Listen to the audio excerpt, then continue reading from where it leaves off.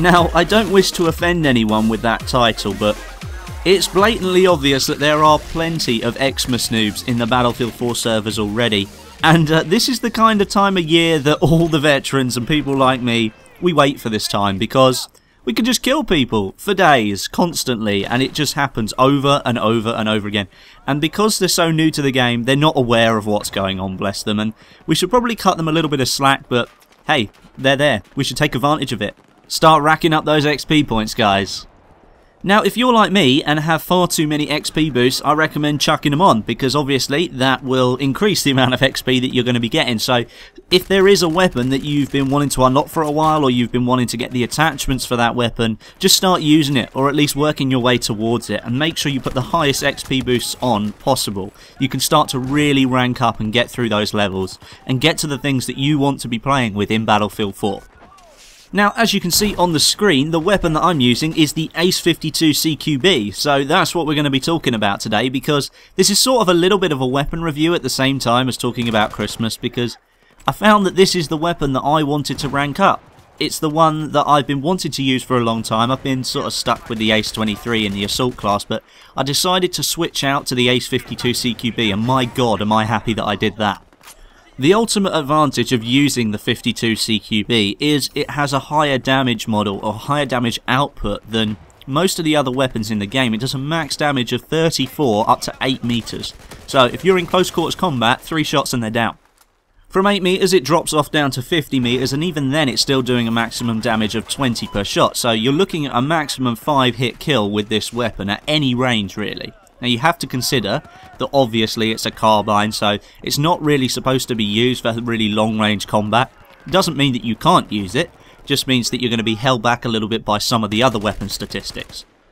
The bullet velocity for this weapon caps out at 400 meters per second, which puts it in the mid-range category, and uh, is sort of easy to work with, but especially for the medium to longer range targets, you will have to lead your target just very slightly. And if you add in the bullet drop to that, which is 15 meters per second squared, it's one of those weapons that's got more bullet drop than most, so if you're going for those longer range targets, you will have to aim slightly higher than you normally would.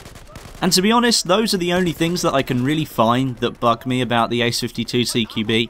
Apart from the fact that it does massive damage, I mean that should really be the deciding factor for you. For me it was, I always wanted to try it out and actually get properly good with it, start unlocking some specific battle packs for it, so I could get those attachments that I wanted to use. It was really the only deciding factor because the more damage you can put into somebody, the quicker you're going to drop them. Irrelevant of how fast the bullet speed is or how fast it fires a bullet every minute. Doesn't matter, this thing has more damage than most of the other weapons in the game and therefore, for me, at close and medium range, this is one of the weapons that I'm going to be using for a long time.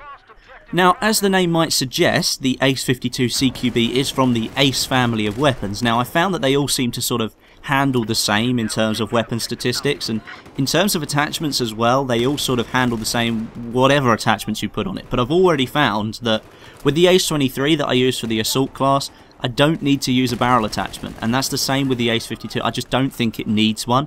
None of the attachments that are available really benefit it in any way, so I just find using the standard barrel as a good attachment. Using a stubby grip is always good. Stick a laser sight on there if you want to be a little bit more accurate at close range, even though the damage is really going to sort of help you out there. Especially, you don't even really need the laser sight, you could just hit fire, especially because you're in such close range, you're going to drop the guy very quickly anyway.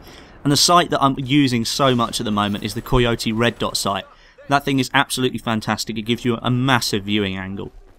If you are a newer player to Battlefield 4, then I'd recommend the angled foregrip instead of using the stubby or the ergo grip, simply because the Ace 52 CQB and a lot of other weapons out there all have this first shot recoil multiplier, which is higher than the recoil than you'd have if you were just continually going through automatic fire. So for the Ace 52, it's 2.3, so that is a little bit higher than even some of the other weapons out there that usually have it around 2. So the angled foregrip reduces that first shot recoil multiplier by about 33%, so you're going to see an improvement with that and you can keep your bullets on target when you first start shooting.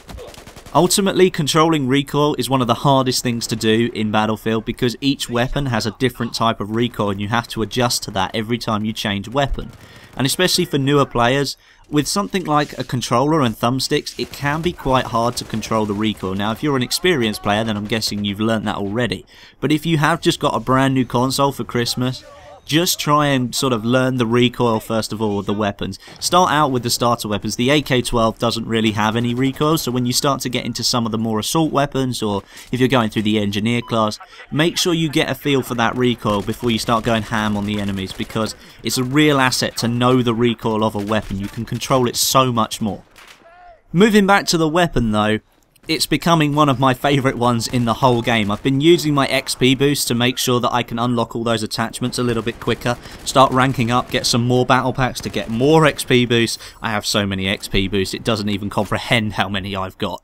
But ultimately, the Ace 52 CQB is a brilliant weapon, and once you unlock it, it will be hard to go back to any sort of other carbine really. Because of the higher damage model you drop people so much quicker. It's got a low rate of fire which means that you can keep the bullets on target all the time and as I said if you can learn to control the recoil you really can drop people with this weapon extremely quickly. Just a couple of quick things before I end this video however, I will be starting a new series of weapon comparisons in the new year between some of the weapons that are quite close in statistics or looks or something like that. So for example we've got the Ace 52 and the Ace 21 CQB in the same class of carbines and they're made by the same manufacturer so what's the difference? I'll start to do some videos like that for you and I will be bringing back some Bad Company 2 gameplay sort of once every couple of weeks or so. I'm going to do some Bad Company 2 because I just love that game.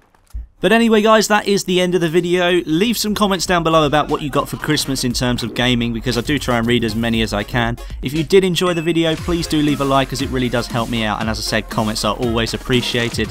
But until next time, my name is Westie and I'll catch you guys in the next video.